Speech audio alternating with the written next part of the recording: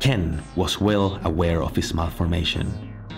After growing old and embarrassed for having an anatomically incorrect body with no hints of genitalia, Ken wrote a letter to his maker.